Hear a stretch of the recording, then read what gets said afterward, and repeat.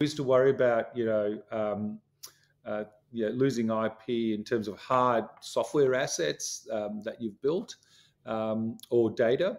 Uh, and now it's it's about the the tacit knowledge about your business, the, the core competitive things that only you know or your staff know about your business that potentially an AI works out and is trained on. And and so uh, you know, many CEOs and my advice now is that that AI you're developing, you need to own it, you need to control it, you need to know where it's running uh, and what other services it's touching or what other AI capabilities is it potentially training. Because otherwise, it's a little bit of like the Trojan horse that's getting into your organization that's, and uh, yeah. getting things out as well that you, you yeah. wouldn't want to. Uh, the guy I was speaking to was was saying, and again, C, CEO of a very large um, uh, logo in in America, mm-hmm. saying um, um, genuinely worried about some of his vendors becoming a competitor in the future because they you know they they're potentially going to learn everything about how how they make money as a business through uh, the AI capabilities that they're building.